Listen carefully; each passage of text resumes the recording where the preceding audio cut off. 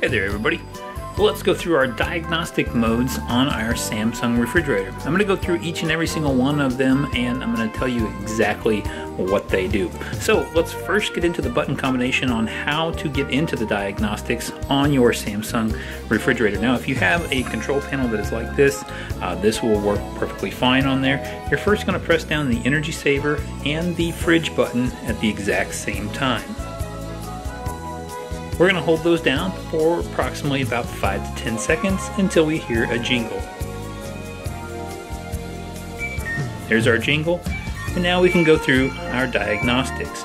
Now, what does each and every single one of these mean? Well, let me go through that with you.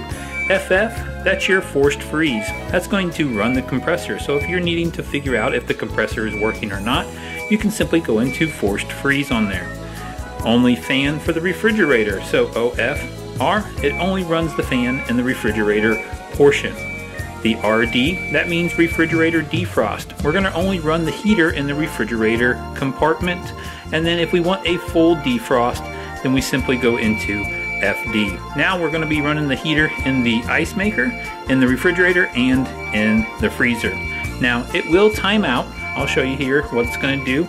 It'll have FD displayed there, and then all of a sudden it'll go off of there. You can still hear that it's dinging, well, that means that it's still in the forced defrost. Well, how do we get back into that? Well, we simply just go back in, press those two buttons at the exact same time, energy saver and fridge at the same time. Hold those down.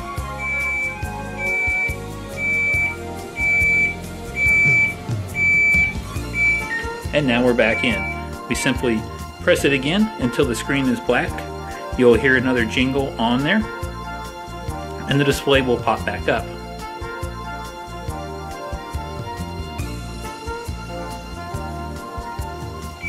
And there it is. Now you're out of the forced defrost and you're out of diagnostic mode. The entire time you are in diagnostic mode, it will beep.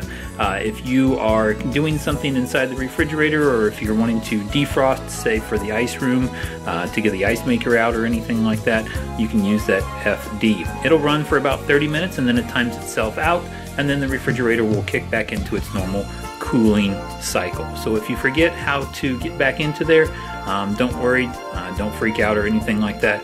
The refrigerator will automatically default back into that for about, you know, it'll take it about 30 minutes or so. Uh, it'll sound like a truck's backing up inside your inside your kitchen there, but uh, it'll eventually uh, clear itself out of there.